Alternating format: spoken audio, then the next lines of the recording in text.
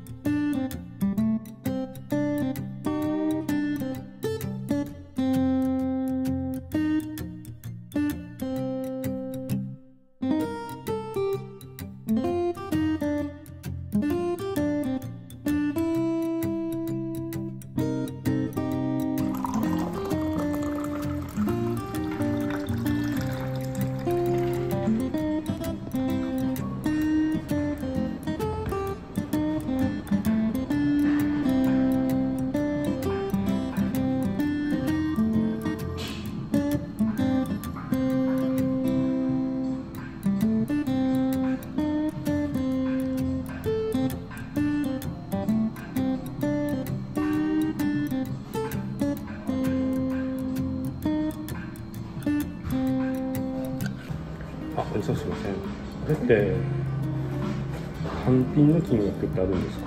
アジフライを追加したい時とか。その場合は基本的に最初の時にあの白身フライでしょコントッピング欄にはい、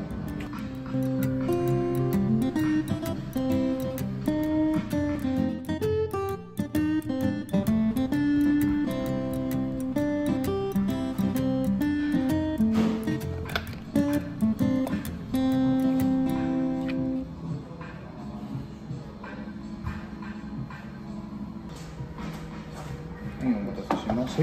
白身フライです。